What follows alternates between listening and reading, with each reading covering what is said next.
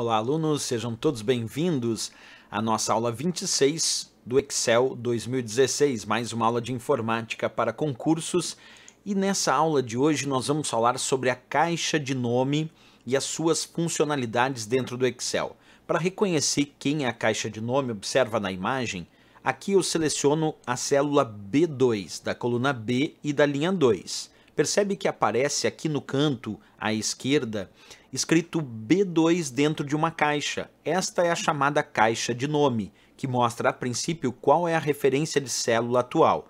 Então, se eu clicar lá na célula D3, na caixa de nome aparece D3. Bem, mas essa não é a principal razão e o principal motivo da existência da caixa de nome. Na verdade, a caixa de nome é muito útil quando o usuário deseja dar nome aos intervalos de células e usar estes nomes dentro das fórmulas e funções em substituição às referências de célula. Então a ideia aqui é, primeiro, usar a caixa de nome para dar nome aos intervalos. Segundo, utilizar esses nomes dentro das fórmulas e funções. Terceiro, em substituição às referências de célula. Mas vamos fazer isso tudo passo a passo aqui comigo, acompanha. Eu vou digitar aqui o valor 4, 5 e 6. Aqui na coluna B, 10, 20 e 34. Agora nós vamos selecionar só os valores da coluna A.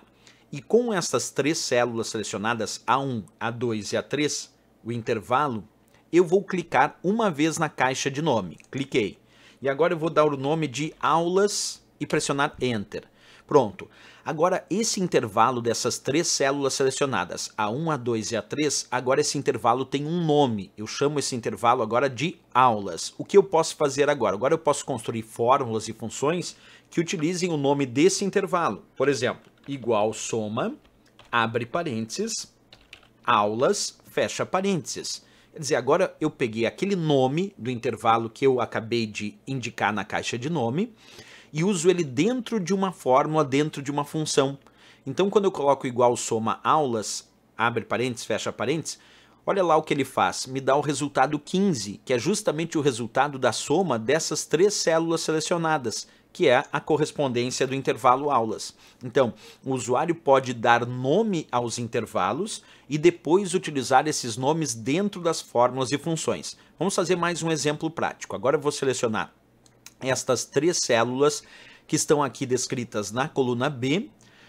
Com essas três células selecionadas, eu novamente vou clicar na caixa de nome e aqui eu vou chamar de cursos e Enter. Pronto, agora essas três células da coluna B, a célula B1 que tem valor 10, B2 que tem valor 20 e B3 que tem valor 34, agora esse intervalo se chama cursos. Vamos imaginar agora que eu quero montar uma função média igual média, abre parênteses, e aí, como eu quero a média daquelas células, eu só indico o nome do intervalo que eu acabei de referenciar. Então ficou igual média, abre parênteses cursos, fecha parênteses. O que ele vai fazer? Vai mostrar o resultado da média aritmética desses três valores, de 10, 20 e 34. Isso porque eu pedi a média do intervalo ao qual eu dei o nome, através da caixa de nome, chamado cursos. Então, nós podemos dar nome aos intervalos como eu disse, e usar esses nomes dentro das fórmulas e funções em substituição às referências de célula. Esse é um fato muito importante. Outra dica em relação a isso, depois que o usuário deu vários nomes para os seus intervalos, como eu acabei de fazer, basta clicar naquela setinha que aparece junto à caixa de nome e escolher o intervalo desejado do qual eu já nominei anteriormente. Então, por exemplo, se eu escolher aulas, ele seleciona automaticamente o intervalo aulas. Observa de novo. Clicar na caixinha de nome lá, na setinha, escolho cursos e agora ele selecionou o intervalo cursos. Então ele, isso também facilita até a seleção de intervalos, porque eu posso dar nome, dar nome a esses intervalos e depois selecionar esses nomes que ele seleciona o intervalo referenciado. Outra dica importante, quando o usuário vai utilizando o Excel, é sabido que nós temos várias guias, né? E aqui vocês vão encontrar a guia fórmulas, a guia layout da página, muitas guias.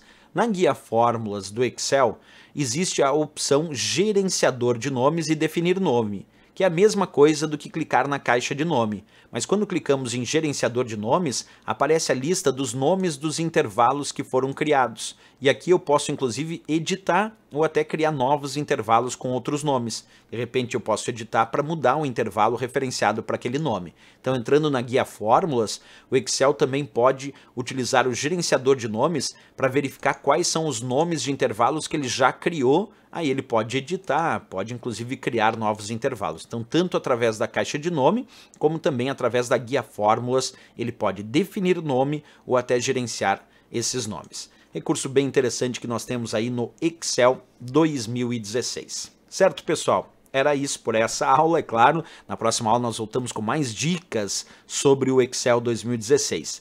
Se gostou do vídeo, não esquece de deixar aquele gostei, que é bem importante. Também se inscreve aqui no canal e ativa o sininho para receber as notificações de novas publicações de aula. No mais, eu aguardo vocês na próxima aula. Grande abraço e bons estudos!